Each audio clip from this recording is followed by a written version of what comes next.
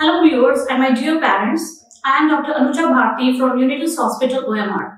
Today I want to tell you related small tips related to your newborn. To your, so this video is specifically dedicated to newborns.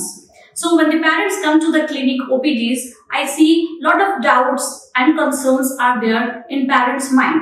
Well, that is quite acceptable. But more than that, they are more confused because there are a lot of inputs, lot of forceful ideas from the parents, grandparents and full families. So let me clear out few doubts which you need to manage with your newborn babies.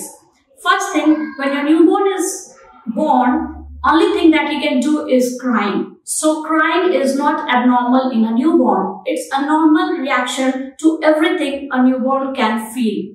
So when a baby cries, just try to console your baby. See if the baby has passed any urine or motion. Third, put the baby on your breastfeeding. And fourth, even after that, if still the baby is crying, just try to console as much as possible. Even after that, if you feel the baby is still not in a comfortable zone and still the crying doesn't look normal to you, definitely consult your pediatrician. As soon as the baby is delivered, you should start breastfeeding. Now this breastfeeding should be given only after every 2 hourly gap. You should not breastfeed your baby within 2 hours even if the baby is crying. You should give a gap of 2 2 hours so that the baby's digestion goes well. After you are done with your breastfeeding, you should always put your baby vertically and pack from below to top so that whatever gas they have taken along with the breast milk, it all comes out.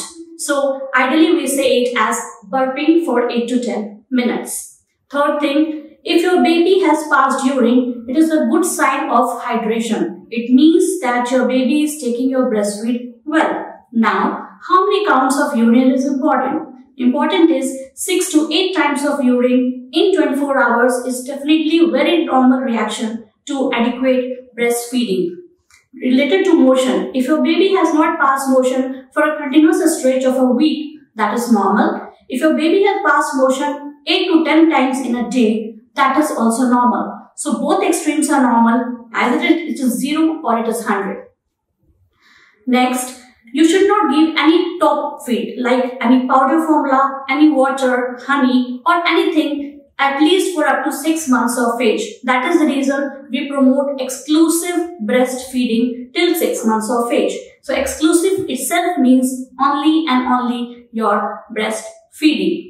Now, sneezing and hiccup, both are normal in a newborn. It doesn't mean the baby has a cold, the baby has an indigestion, anything like that. It is just a normal protective reflex for baby. If the baby has too many hiccups, you can just latch on your breast and give the breastfeeding. For sneezing, you don't need to do anything. And most important, if at all you feel that your baby is not looking well, you have a sixth sense that your baby is not looking fine to you, definitely don't hesitate to consult your pediatrician because a baby's life is very, very critical and delicate. Have a good day and take care of your baby the way you want to. Thank you.